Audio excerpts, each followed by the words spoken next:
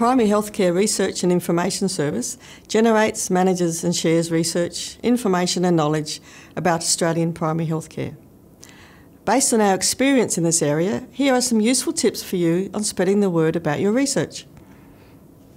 Before you begin to disseminate your research, it's worth taking a few steps to make sure you get it right.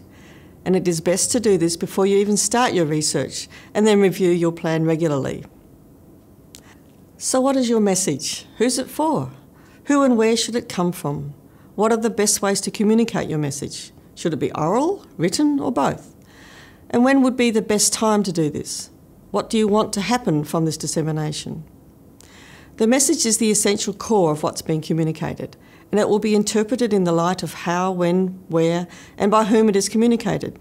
So remember, it's not what the message does to the audience, but what the audience does with the message that determines the success of your dissemination.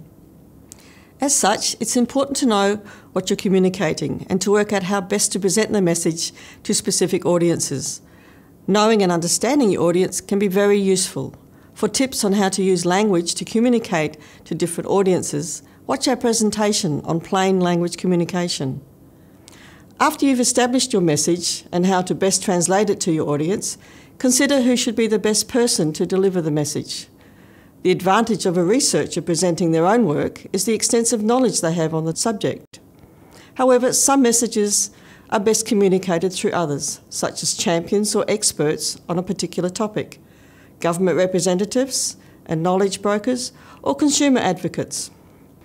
When it comes to the format you present your work in, there are a number of dissemination methods, and each depends on topic, audience, and desired outcome. These might include an academic paper, a report, and remember to include an executive summary, a media release, a meeting, a presentation, and there may be others much more suitable.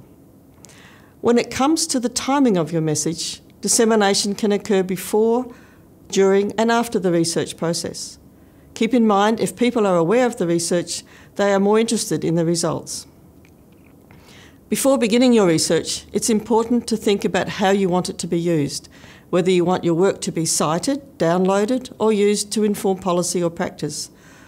Thoughtful dissemination throughout the research process will determine how it will ultimately be used. So, in summary, Dissemination is critical to research. Keep it simple, interesting, and relevant to your audience. Be diverse and opportunistic in your dissemination. And make sure you monitor your dissemination to determine its success.